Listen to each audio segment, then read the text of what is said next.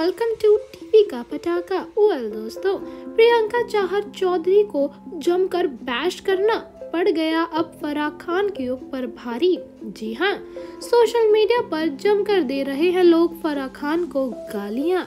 Well weekend के वार पर इस बार फराह खान की क्यों लगा दी फैंस ने क्लास आखिर प्रियंका को डांटना इतना भारी क्यों पड़ा फराह खान के ऊपर? दोस्तों क्या कुछ हो रहा है बताएँगे आपको सब कुछ पूरे विस्तार से।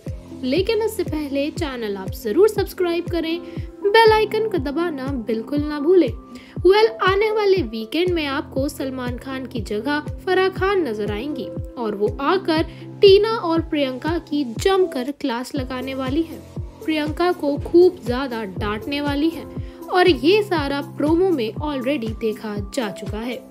यही वजह है कि अब फराह खान को सोशल मीडिया पर जमकर ट्रोलिंग का सामना करना पड़ रहा है इसकी बड़ी वजह है साजिद खान जी हाँ फैंस कह रहे हैं कि फराह खान साजिद खान की बहन है तो इसीलिए वो मंडली के हमेशा सपोर्ट में रहेंगी और प्रियंका को ज़बरदस्ती डांटेंगी, क्योंकि उन्हें अपने भाई की मंडली को जो बचाना है और वो ज़बरदस्ती प्रियंका को बैश कर रही हैं।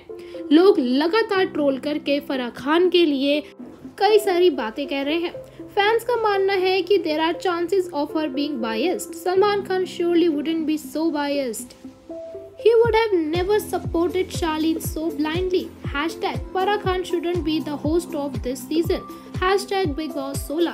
दोस्तों, साफ़ है कि फैंस का यही मानना है कि फराह खान ऑब्वियस बायस्ड होंगी और उन्हें बिल्कुल भी बिग बॉस के इस सीज़न को होस्ट नहीं करना चाहिए। वो बिल्कुल भी डिजर्व नहीं करती हैं और सलमान खान बेटर हैं। इसी के साथ साथ कई और बातें भी फैंस कह रहे हैं। कि बिल्कुल फराह खान का बायस्ड होना जायज़ है क्योंकि उनकी मंडली के, यानी कि उनके भाई की मंडली के दो लोग ऑलरेडी घर के अंदर हैं।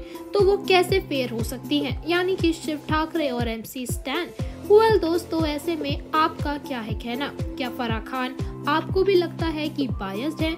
या फिर फराह खान बिग बॉस 16 की एक अच्छी होस्ट है? हमें अपने व्यूज़ कमेंट करके आप ज़रूर बताएँ। साथ ही साथ वीडियो को लाइक और शेयर करना आप बिल्कुल ना भूलें।